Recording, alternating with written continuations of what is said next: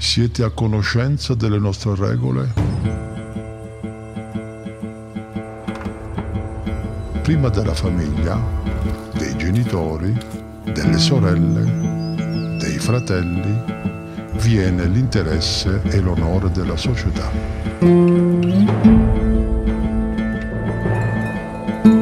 Essa, da questo momento, è la vostra famiglia.